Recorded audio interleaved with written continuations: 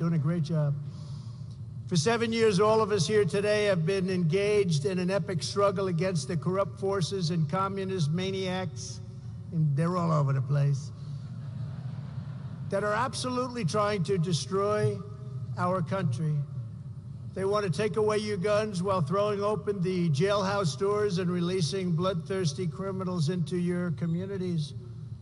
They want to abolish your borders and impoverish your families while spending your money on endless and very, very stupid foreign wars.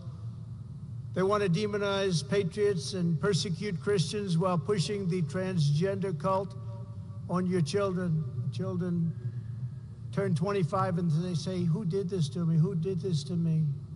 How did you let this happen?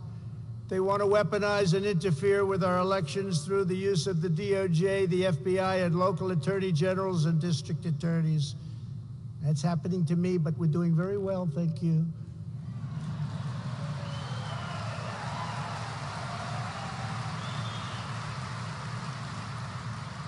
It's actually called election interference. That's all they want to do.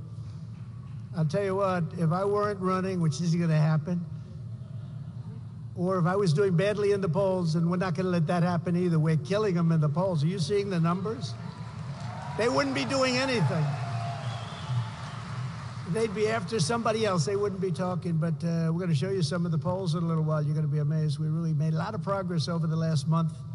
We put it into high gear like we did for four years.